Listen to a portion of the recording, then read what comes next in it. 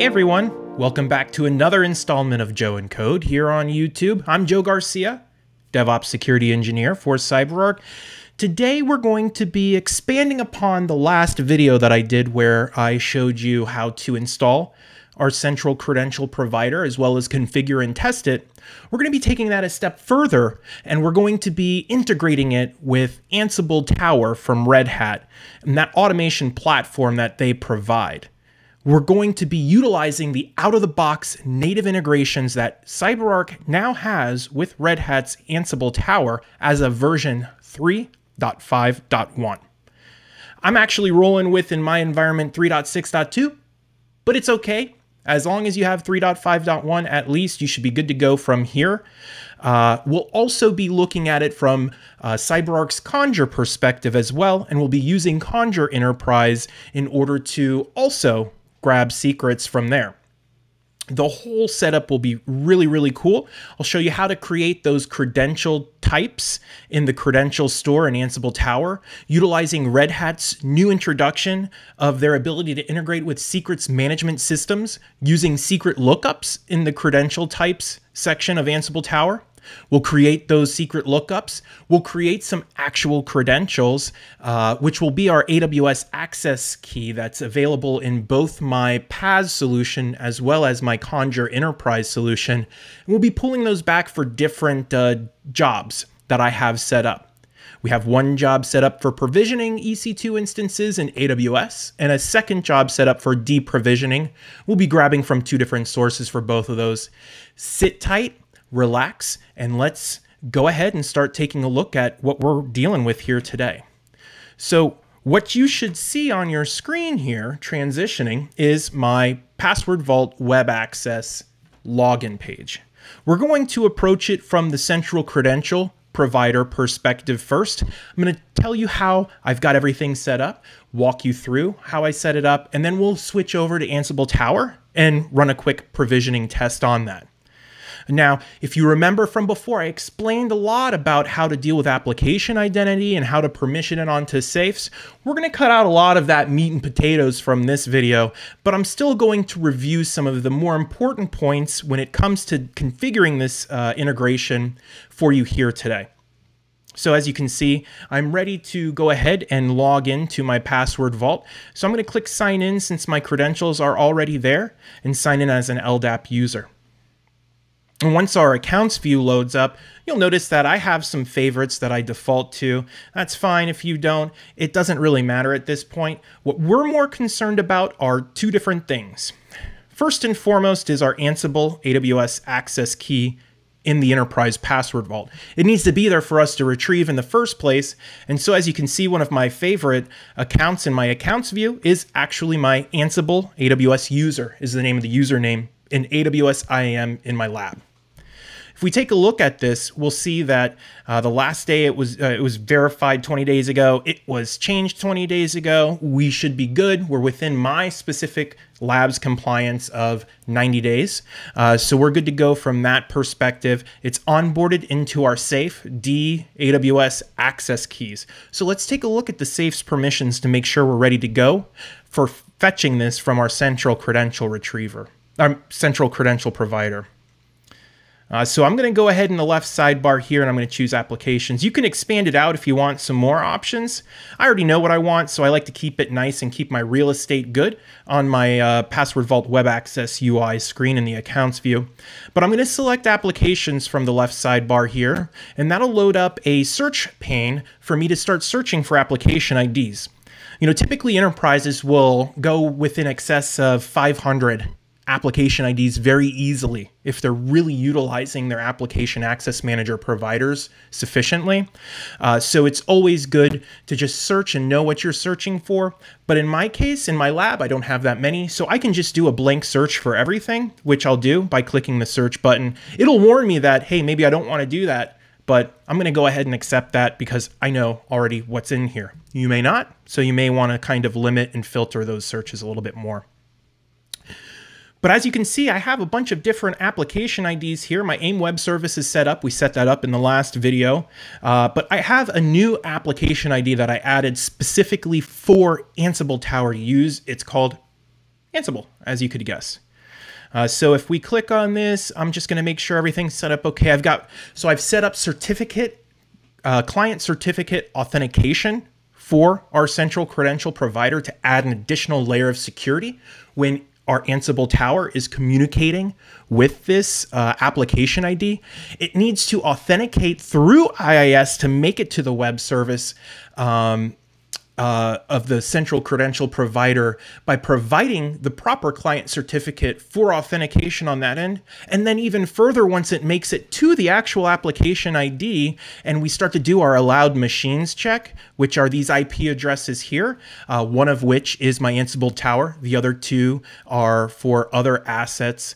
Uh, the authentication here on the, on the authentication pane, I've added the certificate serial number of that client certificate that we're accepting to be authenticated through IIS. So that way we have an additional layer of authentication in place before we can actually utilize this application ID to retrieve any secrets. We have to verify the serial number of the certificate we gave for that authentication. So very, very, very secure here. Um, as long as all of this matches up, we should be good to go to start grabbing secrets from the safes that have the Ansible application ID as well as the AIM web service applied to it. So let's go into policies here and we're going to take a look at my safe that we're going to be accessing the access key from. So I'm going to go to access control, which is where we keep all of our safes. And I'm going to select the D AWS access key safe where as you can tell by my naming convention, because in automation, we want naming conventions, right, guys? That's where my access keys for AWS live. So I'm going to just take a look quickly at the members section and make sure everything is set up and good to go. We've got a bunch of different uh, app IDs here. I see our AIM web services here. Of course, our AIM web service does not require any permissions. It just needs to be present on the safe. And then my Ansible uh, application ID is here to be able to use, retrieve, and list all of the accounts that are in here. I kept it with default settings in this uh, in this instance, but it definitely didn't need to be able to view these safe members or view any audit activities. It doesn't care about that. All it cares about are accessing and, and being able to see the accounts within. So we're good to go from that perspective. Our application ID is is, is uh, a safe member of the safe we're going to be grabbing the access keys from. Our access keys are compliant and, and, and verified uh, recently within the past 90 days. So, from an EPV or a core PAS perspective, if we think about the entire suite, we're good to go with the account being managed as well as being accessed from this solution. Now, what we need to do is turn to Ansible Tower and take a look how we integrate it with that. So here I have Ansible Tower already set up ready for me to log into. I'm going to log in as admin at first to kind of show you around and so that I don't get limited with anything. But to actually run and provision these EC2 instances, we're going to switch to a member of a team that I've got created. I'm going to explain that all to you now. So let me go ahead and sign in first as the admin so that we can start taking a look at what we've got here. So First and foremost, we're, we're, we're, we have a dashboard here that gives us a, a great overlook, a, a overview of, of what I've got going on. I have one project, I have two inventories, and 10 hosts in those two inventories. And as you can see, haven't really been failing a lot in my jobs. They've been mainly successful, which is good for me because that means that I don't have to really go in and fix anything if I was an admin of Tower. Now, as far as the templates are concerned, the credentials, things like that, you guys might not know what that is yet, but let's talk about the role-based access control that's in Tower first.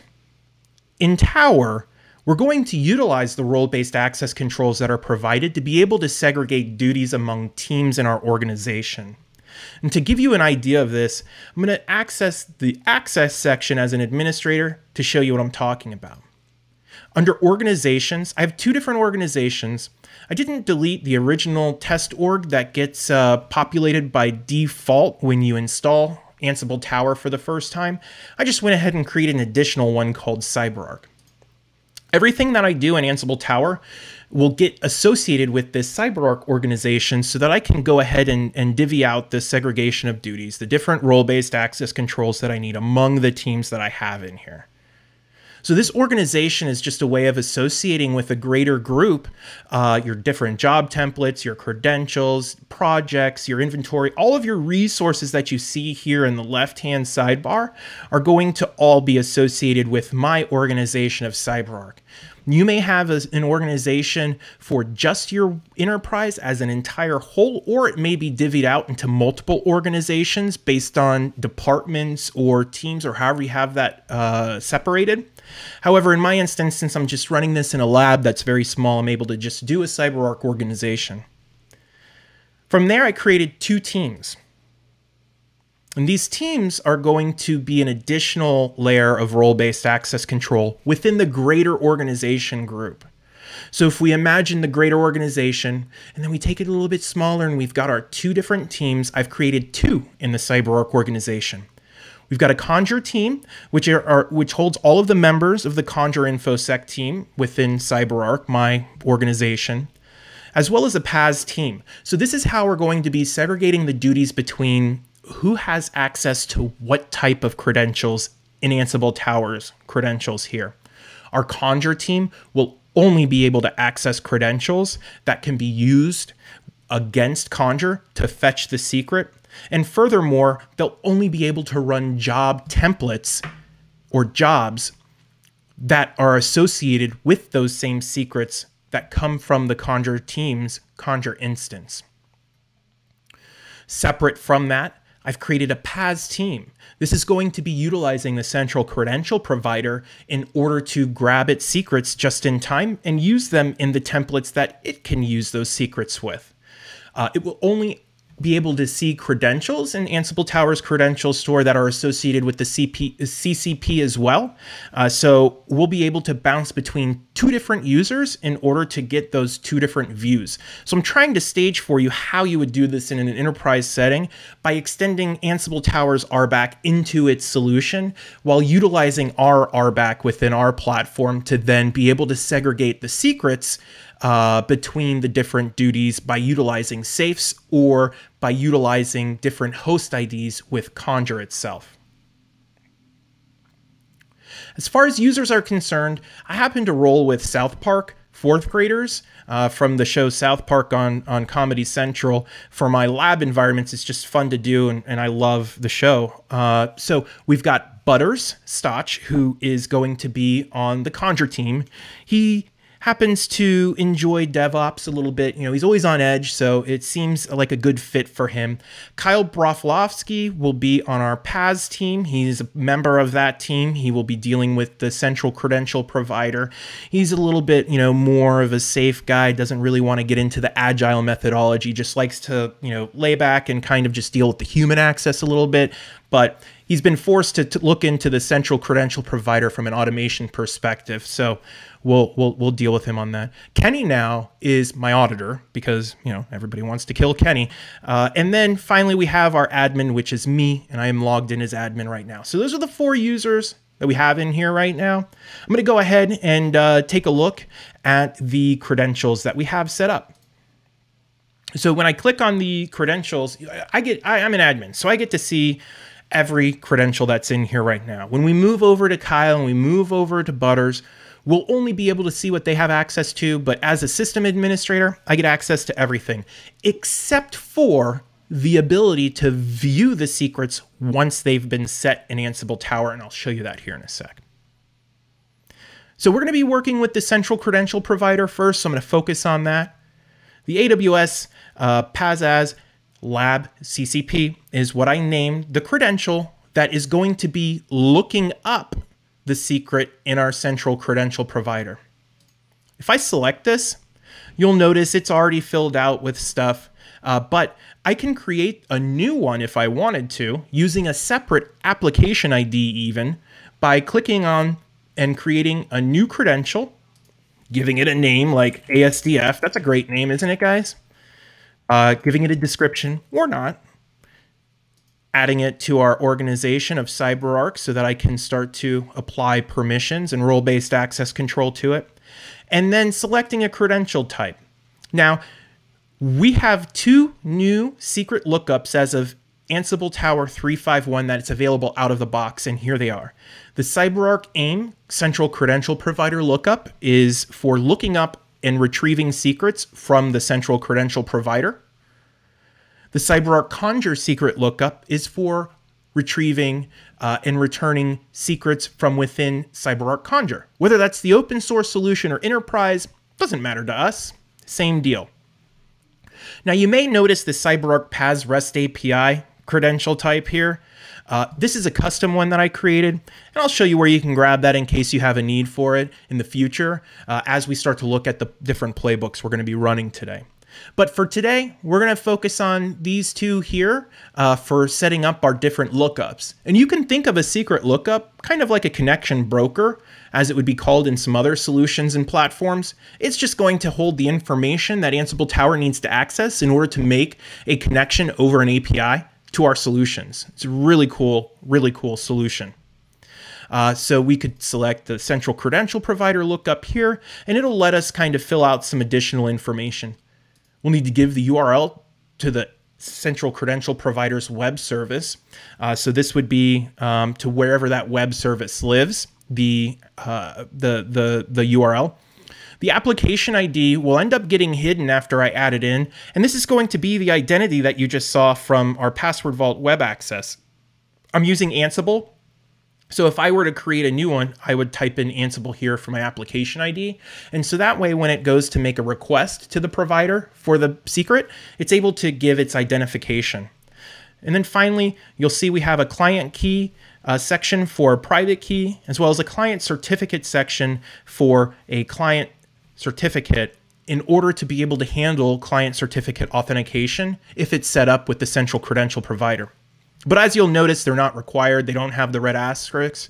So if you don't have client certificate authentication set up, it's okay for testing. I do would recommend you set it up for any production tasks that you're going to be running. So for testing in dev or in QA or, or wherever um, you know you, your environment is, it's okay to go with just the URL and the application ID, but definitely from a production perspective, you want to introduce a client certificate into that.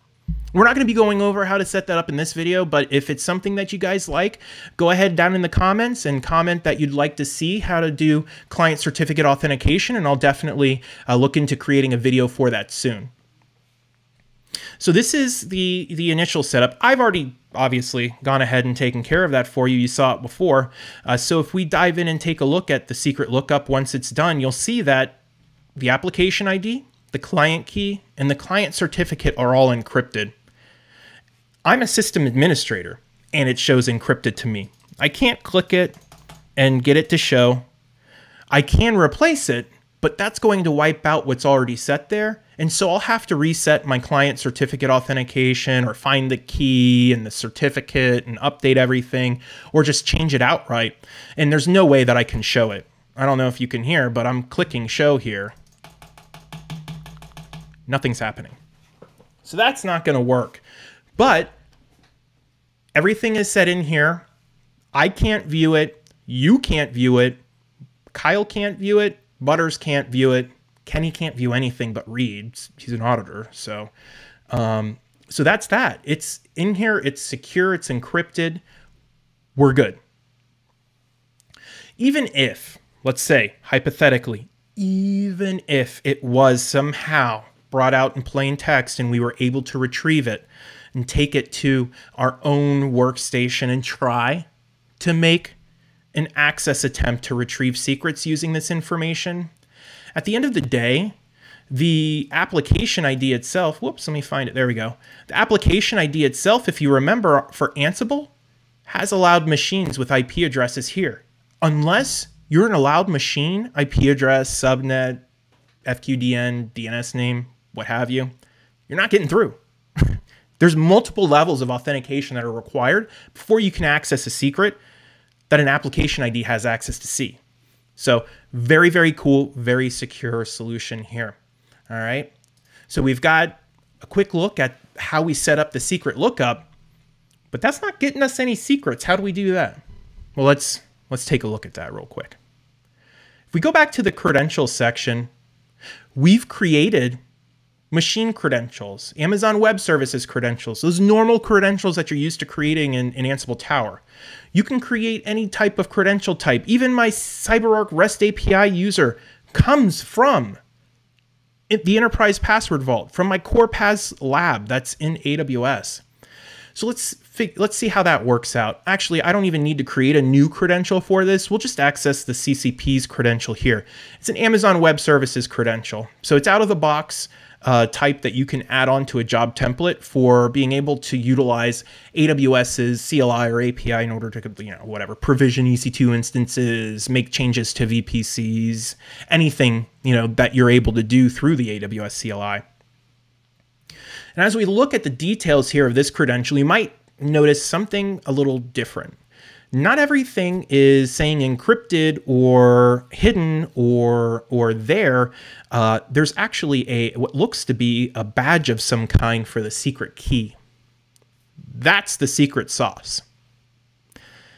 At the end of the day, if I want to pull in something from the central credential provider, such as my secret key, all I have to do is click these little magnifying glasses you see everywhere here and it'll ask me, what input source do you want to pull this information from? Well, I've got two choices. I've set up two, right? We saw it. We've got the CCP or Conjur. In this instance, I chose the CCP. So the CCP will be communicated with in order to retrieve securely this password. The metadata doesn't hold anything. Oh, wait, there it is. Yeah, the metadata did load. Sorry. It's the object query that we're used to sending as URL parameters when we're requesting a secret from the central credential provider. The safe, we already looked at that safe. We know that's the proper safe. The object name of the Ansible AWS user, and that's all I need to give. If I had a reason that was required in order for me to retrieve this, I could provide a reason, but it's not necessary in my lab. I don't require it. And we do have a pretty cool test button here that we can click to test and you can see the test passed. It's not giving me the actual value back, but it was able to get a 200 OK status code from uh, the request that was sent to where I set up the secret lookup to look to for the central credential provider. So with all of this, we should be good to go to provision using Kyle. So I'm going to go ahead and log out now as admin. I'm going to log in as Kyle. Sign in.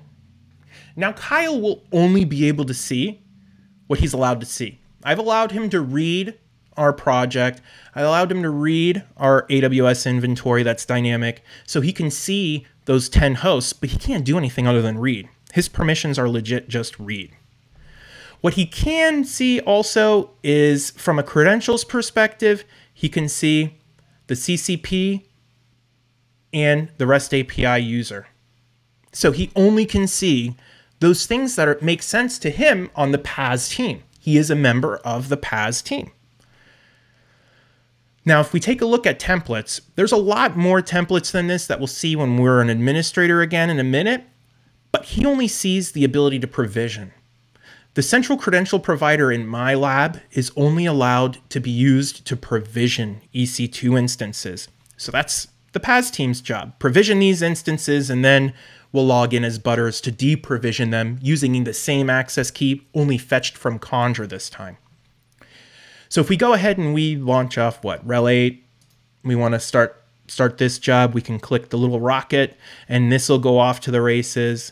Um, we can come over here to templates again and we can click the little rocket for Ubuntu and then that'll go off. And you can see here that we're using the credential Ansible AWS user from CCP. So this is how we know it's all coming from the CCP. And this job will run through once it updates the inventory and everything. But at the end of the day, it's going to start this instance changed. That's what we want to see. If we come into my instances and we refresh, there's our two pending EC2 instances starting up right now for RHEL 8 for Ubuntu. Those are the two I just clicked. So we're going to keep those booting up.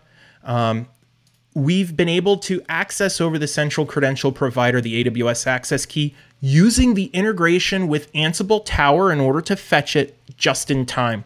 What, what does that mean? That means I can rotate that. That's huge.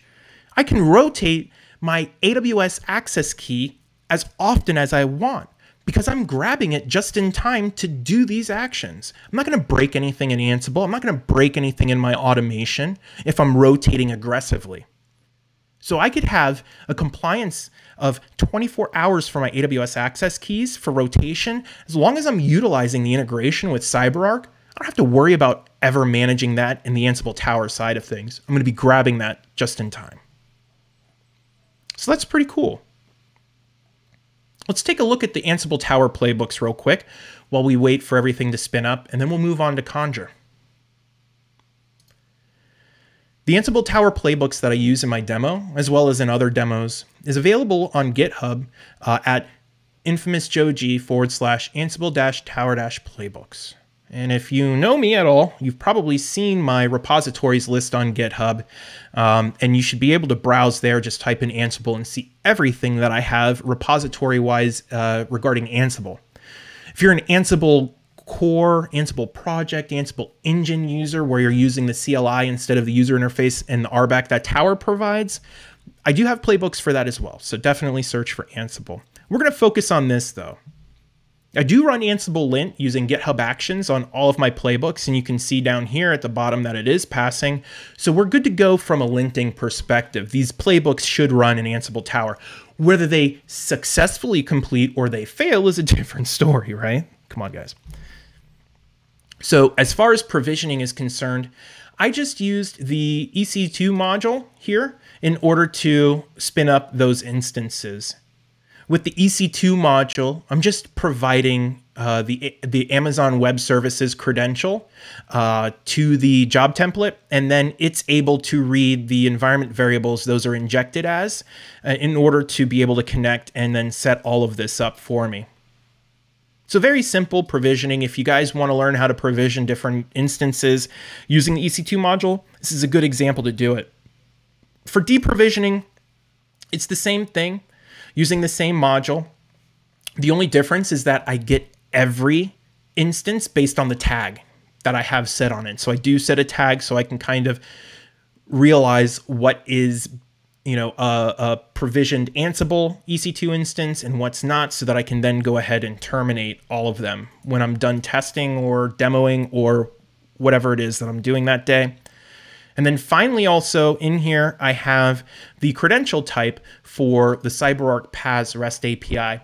The injector YAML, the input YAML is here for you to use, and it'll get included as uh, these environment variables here, CyberArk API password, API URL, and API username.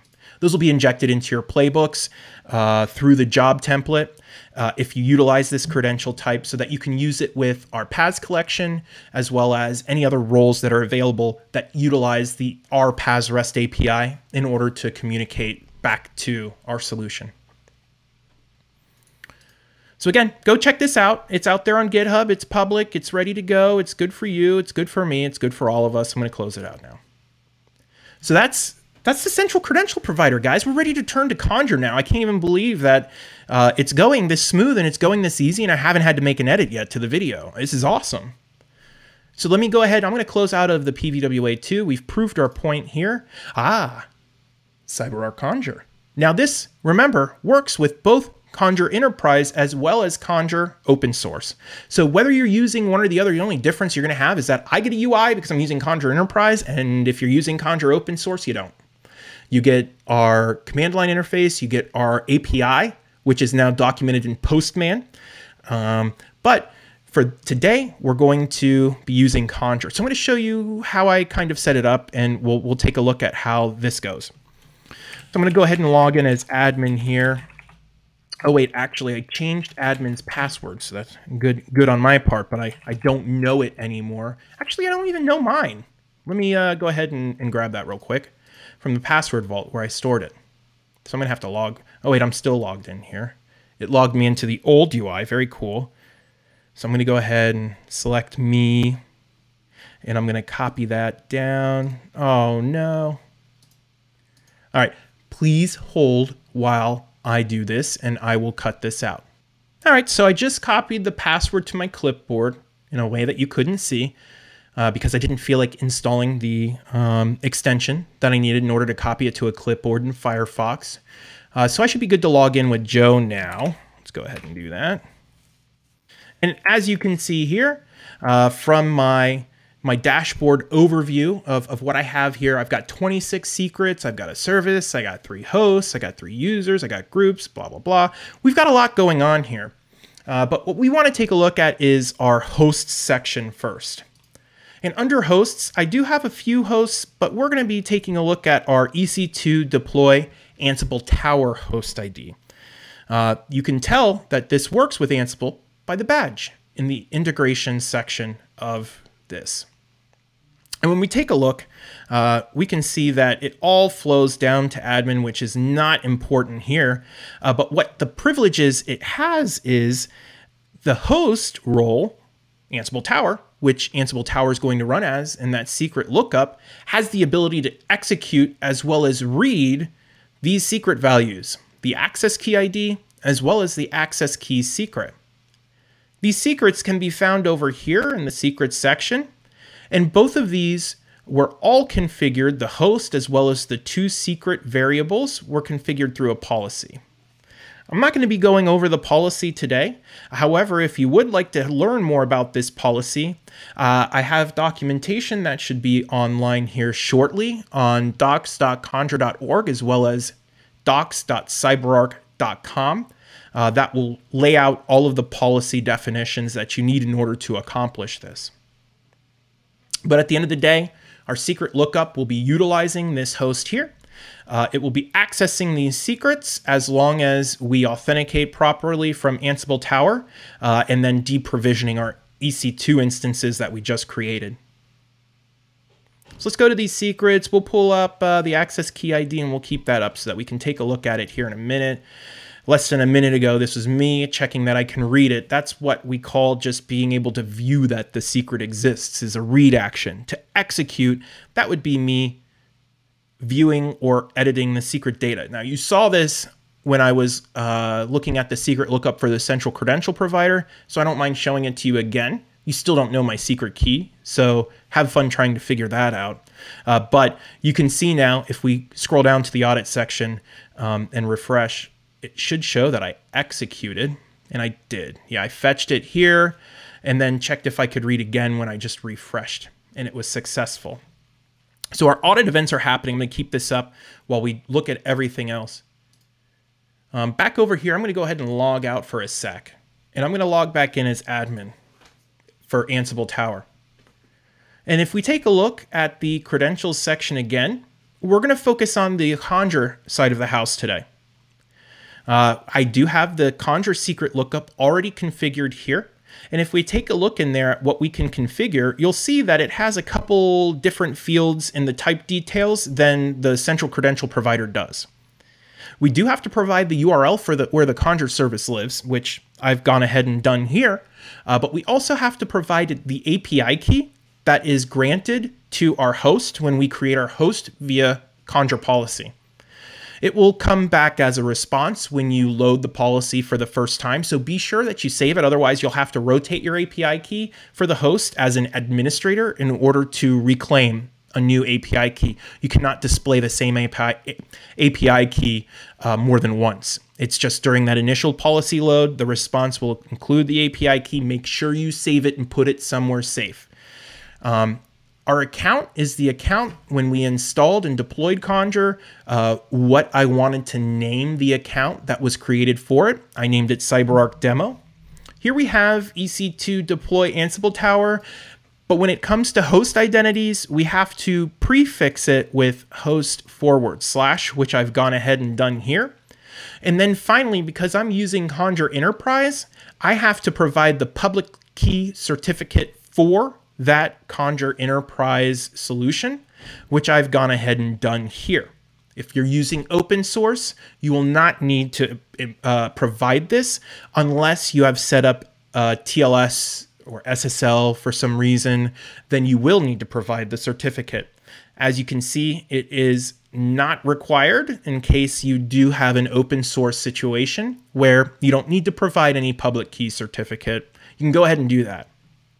And the cool thing about these secret lookups too the central credential provider as well as this one is it also has its own test button. So we can test the connection make sure the credentials are correct uh, for the lookup and that we were able to make a connection.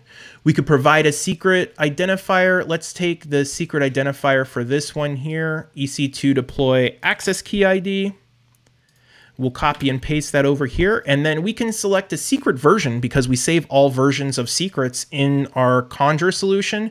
Uh, by not giving a secret version, we'll just get the latest, which is fine with me, and it should return test passed, which it did. So it was able to connect as well as access that secret variable that I just went and copied the name from. So everything seems to be working from my perspective. Let's go ahead and set up the credential now. So here we have a credential type of Amazon Web Services, and now I've denoted it for coming from Conjur. Instead of having the access key ID hard-coded here, I went ahead and I'm, I'm grabbing that from Conjur as well.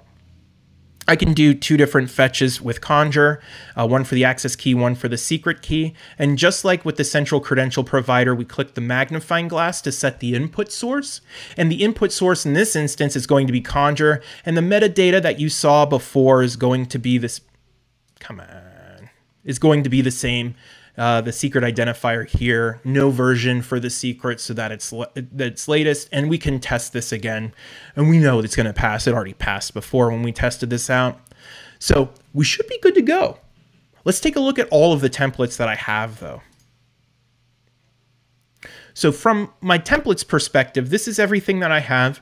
I have my three provisions, I have my three D provisions, plus one to deprovision all of my EC2 instances if I just have a, a great day of testing and, and sandboxing and I just happen to deploy like, you know, a bunch of these instances I lost track, I can just come here and deprovision all of them in, in one failed uh, job launch and, and be done with it. Uh, and I also have a workflow here that is is very cool. This workflow, if I show you the configuration of it, it does my entire demo in just like one workflow. And if we visualize this workflow, when I start the workflow template, it's going to launch AWS provision tasks for Ubuntu, CentOS, and RHEL EC2 instances. Once these all complete and are running in my AWS lab, then we'll kick off using Conjur to grab the secret, the deprovision tasks for each of them. So it's a cool way of me being able to quickly show you a demonstration that, hey, this works, I'm able to do this. Let's move on with life and talk about the real cool stuff, uh, like how can we integrate this with what you've got going on and how we can do it in a secure fashion. If you haven't played with workflow templates, they're definitely really, really cool uh, for you to be able to combine all your different job templates and, and create a very cool uh, pipeline of, of configuration. However, I'm not going to kick those off. Uh, I'm going to switch over now to Butters, and we're going to take a look from Butters' perspective as to what he can see. Uh, just a note as I do that, I did provision Butters to have singular access during testing to one specific CCP uh, credential. So don't hate me for doing that. It's obviously not a best practice, but you'll see from the permissions section that it was a one-off and not part of a group. So as far as his credentials are concerned, like I said, only Conjur. I did grant him access to the REST API user just in case he needed to utilize it.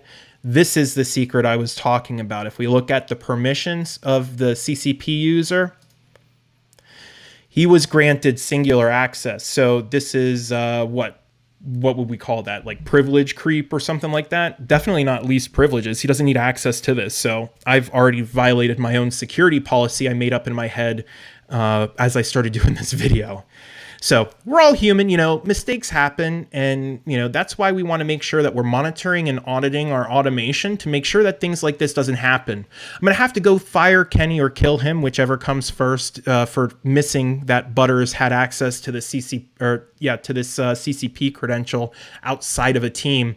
Um, but you know what? Uh, I'm going to let Kenny pass on this for now so that we can complete this video. As far as Kyle's concerned, though, you can see that he does have the ability to use it, and it does denote that he has that ability from the PAS team. So that's what we want to see from Butters too on other credentials. For example, this Conjur one. We should see Butters having access to it from a team. I hope so. I didn't check before. Yep, there we go. So he's able to use this through the Conjur team, which is how it should be.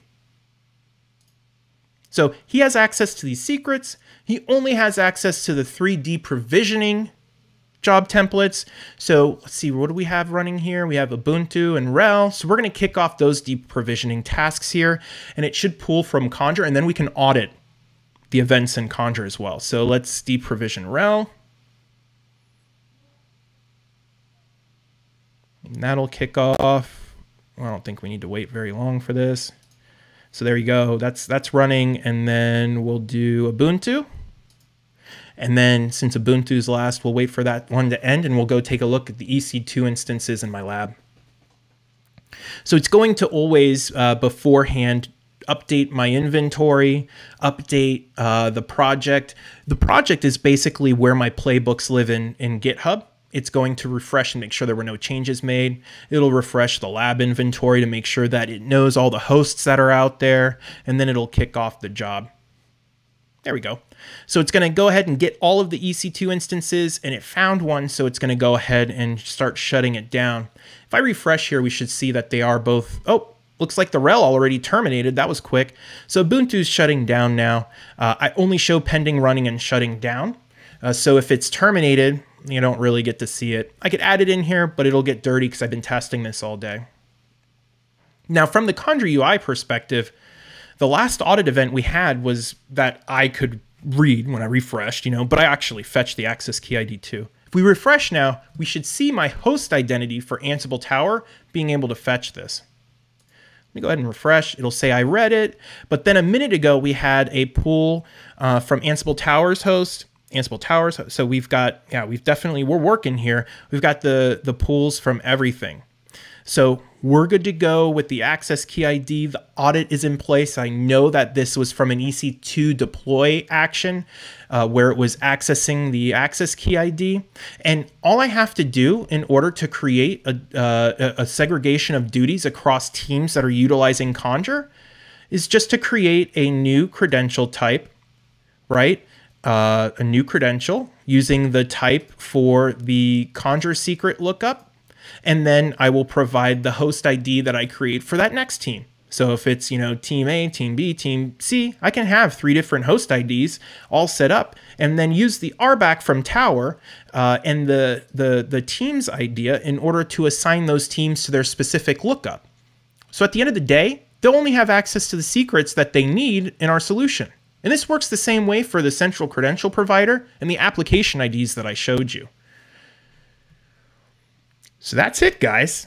I mean, that's it. That's how easy it is to get started integrating Ansible Tower from 3.5.1 on with both CyberArk products, Conjur Enterprise and Conjur Open Source, as well as our Application Access Manager's central credential provider.